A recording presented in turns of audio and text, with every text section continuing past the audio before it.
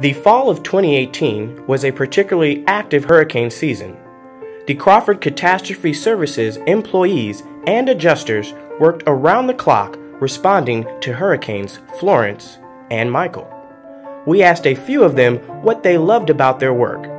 Here's what they told us.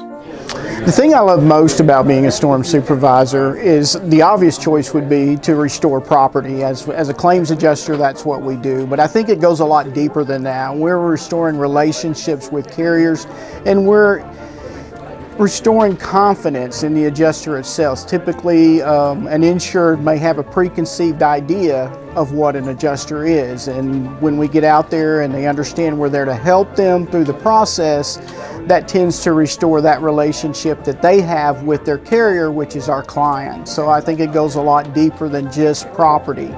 Uh, we're there to restore confidence. We're there to restore faith, if you will, in the whole process of claims.